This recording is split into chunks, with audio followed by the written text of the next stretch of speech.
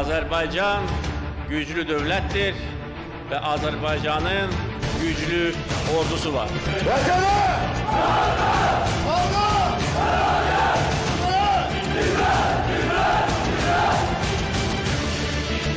Bəli,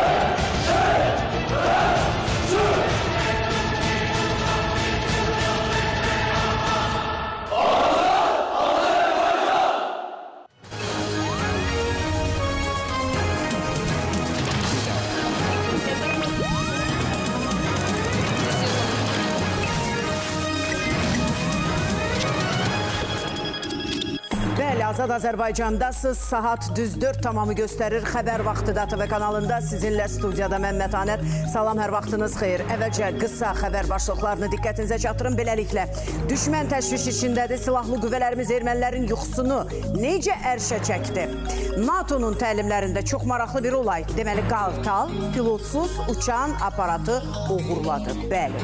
Və Britaniyalı alimlər xərçəng xəstəliyini tamamilə məhv edən bir dərman kəşf ediblər. Kaş ki elə bu kəşf doğrulardı. Doğruldardı özünü e, və bütün bu xəstəliklərdən uzaq olardıq. Eşidəcəksiniz, görəcəksiniz bütün bu və digər hadisələr barədə ətraflı başlayırıq. Prezident İlham Əliyev Daxili İşlər Nazirliyinin daxili qoşunların hərbi qulluqçularının təltif edilməsi haqqında sərəncam imzalayıb. Daxili İşlər Nazirliyi daxili qoşunlarının yaradılmasına 24-cü il dönümü ilə əlaqədar dövlətin ərazi bütövlüyünün təmin olunmasında iştirak etdiklərinə, döyüş zamanı igidlik göstərdiklərinə, öz xidməti vəzifələrini və hərbi hissə qarşısında qoyulmuş tapşırıqları yerinə yetirərkən fərqləndiklərinə görə bir qrup əməkdaş vətən uğrunda medalı ilə igidliyə görə və hərbi xidmətlərə görə medalları ilə təltif edilib.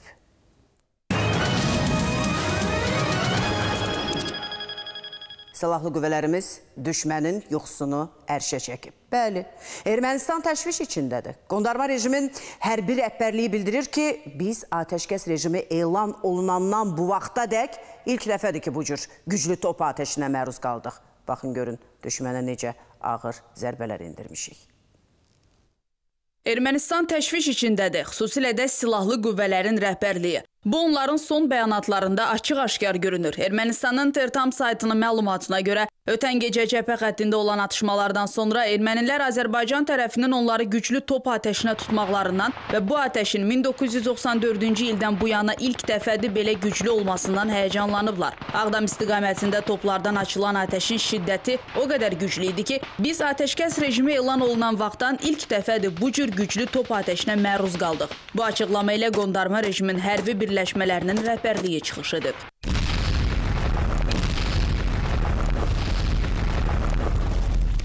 Bu arada Azərbaycan hərbiçiləri tərəfindən cəbhənin Ağdam rayonu istiqamətində qoşunların təmas xəttində Ermənistan silahlı qüvvələrinin növbəti dəfə təxribatının qarşısı alınıb. Qabaqlayıcı tədbirlər nəticəsində təmas xəttinin dərinliyindəki erməni mövqeləri darmadağın olunub. Nəticədə düşmənin təxminən 10-15 canlı qüvvəsi və hərbi texnikası məhv edilib. Müdafiə Nazirliyi xəbərdar edir ki, düşmənin istənilən təxribat cəhdinin qarşısı silahlı qüvvələrimiz tərəfindən dərhal və qətiyyətlə alınacaq.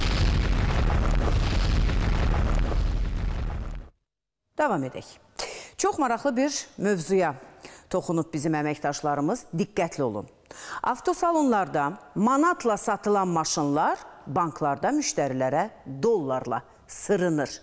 Bəli, sözün əsl mənasında sırınır. Bu faktı və devalvasiyadan sonra bu belə desək özünü çox ciddi problem kimi də biruzə verdi. Bəs səbəb nədir? Hə? Niyə banklar vətəndaşları sözün əsl mənasında soymaqda israrlıdır? İndi də yəni bütün tövsiyələrə baxmayaraq banklar vətəndaşlara hansısa güzəştə getmək fikrində deyirlər. Uzaqdılar tamamilə. Nəticədə xüsusilə də dollarla rəsmiləşdirilən kreditlərin qaytarılmasında borclu tərəf nə olacaq? Əlbəttə ki, problem yaşayacaq. Materiala baxaq. Bank sektorunda vəziyyət o həddə çatıb ki, hər keçən gün problemli kreditlərin həcmi bir qədər də artır. Vətəndaşlar xüsusilə dollarla kreditlərin qaytarılmasında çətinlik çəkir. Bir vaxtlar faiz məngənəsində əzilən vətəndaş indi də dolların kursunun qalxmasından əziyyət çəkir. Amma banklar güzəşt etmək niyyətində deyillər. Mənim 3 ay borcum qalıb da. İndi ödəyə bilmirəm. 3 ayımı dedim mənim elə bil ki, bir eləyək 1 il. 1 il müddətini mənə verə bilmir. Amma buna razılaşmırlar. Deyirlər həmin 165 nədə ödəməlisən.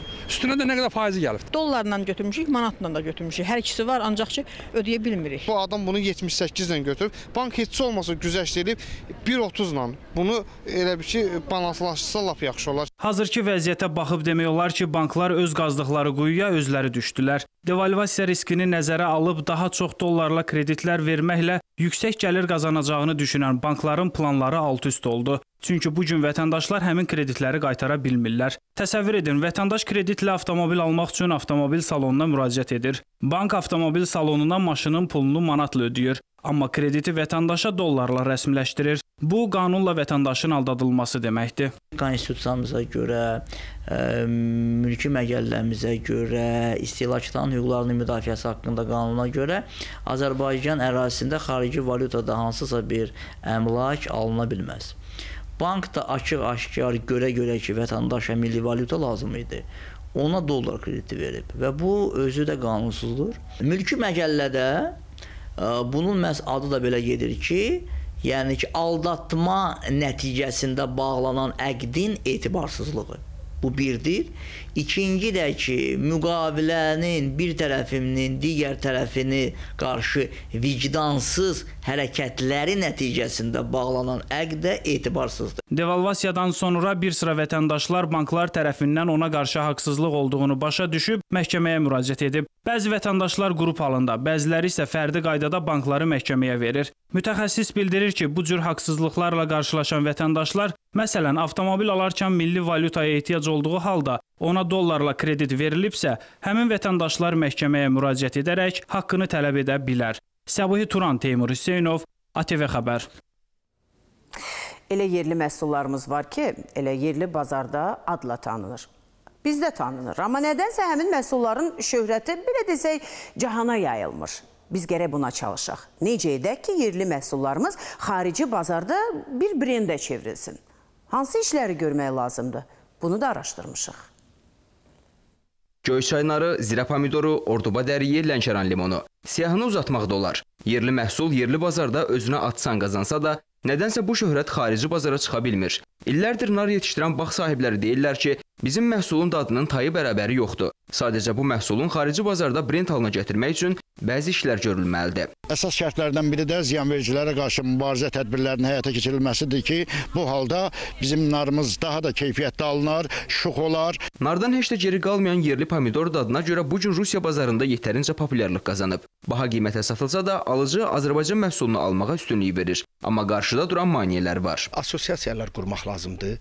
Məhsulun xaricdə satılması üçün gedib orada həmin məhsullarımızın birbaşa üçüncü adamın əli ilə yox, istehsal eləyənin xarici bazarda satmasını təmin edən qurumlar yaratmaq lazımdır. Rus alıcısı bizim məhsulların dadını, tamını, keyfiyyətini bilir. Yəni bunun özü brend deməkdir. Ağşanı, Qaraşanı, Şabranı, Ağadayı, Sarıgilə bu adlar üzümçülükdən anlayışı olanlara tanışdı. Hələ Sovetlər dövründə ölkəmiz üzümçülük üzrə ikinci yerdə gedirdi və bütün SSR də tanınırdı. Bunları yüksək səviyyəli əgər becərilsə, məsələn hökumətin dəstəyi olsa, bunlar nəinki dünya bazarına, heç dünya bazarına bizim üçün demək olar ki, malımız yerdə qalmaz. Sifarişlər artar, ölkənin büdcəsinə də demək olar ki, xeyli e, mənfəət gələr. Marketoloq da deyir ki, yerli məhsulumuzun xarici bazarda tanınması üçün ilk növbədə xüsusi strategiya hazırlanmalıdır. Hər hansısa bir özəlliyi ilə məhsul seçilməlidir. Bu keyfiyyətlə ola bilər, bu qiymətlə ola bilər, bu hər hansı bir standart məhsulların paketlənməsi ilə ola bilər. Həmin bu məhsulları bazarlara çıxardanların əsasən ə, sahibkarlar dediyimiz zaman, yəni kənd təsərrüfatı ilə məşğul olan şəxslərdir ki, onlar da bunu analiz etmirlər. Kənd Təsərrüfatı Nazirliyindən də bildirildi ki, bu istiqamətdə bəzi problemlər var. Beynəlxalq standartlar var, burada müxtəlif keyfiyyət standartları var beynəlxalq səviyyə tanınan.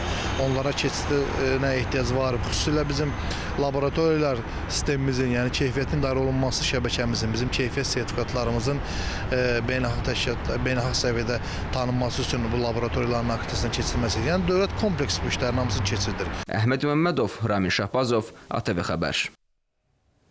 Firdovsi müəllim danışır keyfiyyətdən. Göyə bizim ölkəmizə gətirilən o meyvə, tərəvəz heç bilmirik ki, hansı keyfiyyətdən dəm vurur. Mən başa düşə bilmədim. Yəni geni dəyişdirilmiş, biz də alırıq, bəhbəhlə yeyirik, deyirik ki, əladır. İnandırım ki, sizi e, bir, bir ay bundan əvvəl bir alma almışdım, elə də qalıb orada. Elə bir bu dəqiqə ağacdan dərmisən. Amma öz məhsulumuz olanda ertəsi gün görürsən ki, başlayır qaralmağa, çürüməyə. Deməli, əsl məhsul, mal budur, çürüyən. Bəli, yeyirik və müxtəlif xəstəliklərə düçar oluruq. Başlıca elə gəlir xərçəng. Bəli, mən sizə deyim ki, xərçəng son zamanlar daha da cavanlaşıb və bütün dünyanı bürüyüb. Bir bəladır, həqiqətən də belədir. Amma bu arada da sevindirici xəbər var. Çünki Britaniyalı alimlər məhz xərçəng şişlərini tamamilə məhv edən bir kəşfə imza atıblar. Bununla belə elm adamları tədqiqatın davam etdirilməsini məqsədə uyğun hesab edir. Baxaq materialı. Böyük Britaniyadan olan alimlər xərçəng xəstəliyinin müalicəsində inqilab sayıla biləcək kəşfə imza atıb. Aparılan tədqiqatlar zamanı süd vəzisi xərçənginin müalicəsində kifayət qədər təsirli sayılan yeni dərman vasitələri aşkar olunub. İngilis mütəxəssislərinin hazırladığı iki yeni dərman preparatı, lapatinib və trustumazab cəmi 11 günə bəzi xərçəng şişlərini məhv edə və ya kifayət qədər azalda bilər.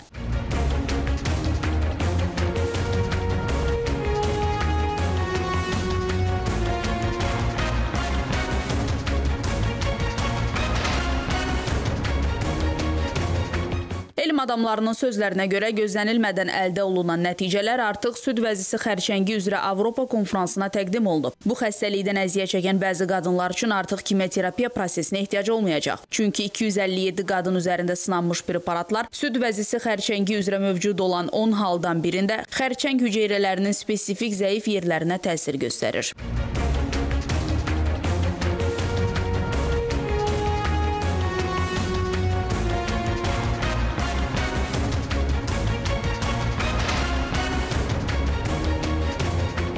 Mütəxəssislər hesab edir ki, nəticələr xərçəngin fərdi müalicə üsulunun hazırlanmasında vacib mərhələ ola bilər. Bu dərmanların kliniki sınaqlarını keçirən həkimlər belə heyrətləndirici nəticələr əldə edəcəyini gözləməyib. Onlar şişin diaqnozu ilə onun xaric edilməsi üçün əməliyyat arasında olan qısa vaxt ərzində bu preparatları xərçəng hüceyrələrinə transformasiya etməklə onun təsir mexanizmini öyrənməyə çalışıblar. Lakin bəzi pasiyentlər əməliyyata hazırlaşdırılarkən onlarda xərçəng əlamətləri yoxa çıxıb. Bununla belə alimlər iddiaların tam təsdiqlənməsi üçün əlavə tədqiqatların vacib olduğunu etiraf edir. Onu da qeyd edək ki, Britaniyada hər il 50 min qadında süd vəzisi xərçəngi aşkar edilir.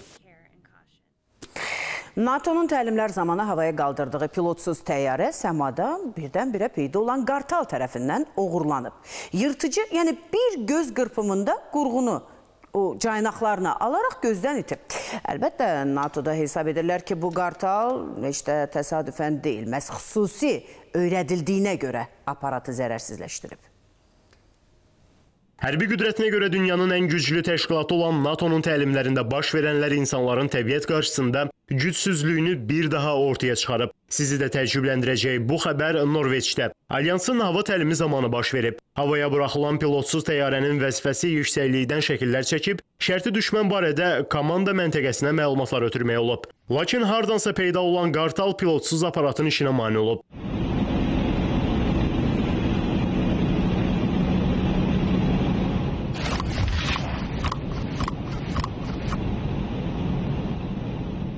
Sonda qartal səmanın kimə məxsus olduğunu insanlara isbat etmək qərarına gəlib. Pilotsuz aparata hücum edən yırtıcı bir göz qırpımında qurğunu caynaqlarına alaraq aparıb.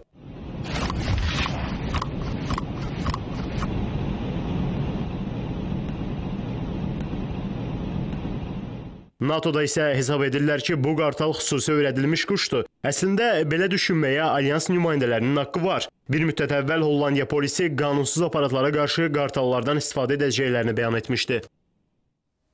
Bəli, bəyan etmişdi, çünki biz o materialı təqdim etmişdik ki, qartalların necə e, məhz bu işə alışdırırlar, öyrədirlər. Bəli, xüsusi təlimlər keçirdilər qartalları, çünki məhz pilotsuz bax bu cür aparatları, təyyarələri məhv etsinlər. Bir neçə gün əvvəl günəş tutulması baş verdi və bununla bağlı geniş süjet də sizə təqdim etdik. İndi isə Alyaska hava yollarına məxsus təyyarədəki sərnişinlərin günəş tutulması zamanı lentə aldığı kadrları sizə təqdim edirik. Deməli, şirkət həmin tarixdə uçacaq sərnişinlərə 25 dəqiqə tez uçuş edərsək günəş tutulmasını izləmək mümkün olacaq. Yəni şansınız olacaq. Sərnişinlər də necə deyirlər bu təkliflə razılaşıb. 12 min kilometr yüksəklikdə lentə alınan həmin görüntünü izləyək.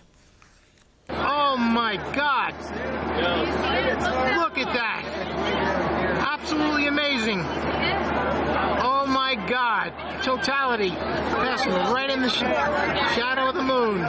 Look at that! Total look at those prominences. You can see them with your naked eye. This diamond ring. Look at that! Oh my God! Diamond ring! Ah! Look at that! Bəli, bir neçə dəqiqəlik reklamlara ayrılırıq. Reklamlara da mütləq baxmaq lazımdır ki, bir baxaq, görək nələr baş verir dünyada reklam bazarında. Əvvəlcə ə, qısa xəbər başlıqlarını təqdim edib ki, hansı ki ATV olayda nəyi görəcəksiniz? Nəzarətsiz qalan uşaq 5-ci mərtəbədən yıxıldı. Az yaşlının həyatda ə, görəsən saxlaya bildilər ya yox, bunu görəcəksiniz. Siqareti tərgidən tələbəni müəllim necə mükafatlandıracaq? Məşhur müğənni Madonna Avstraliyada konsertdə nə üçün spirtli içki içdi və başladı ağlamağa? Nə bilim, baxarıq.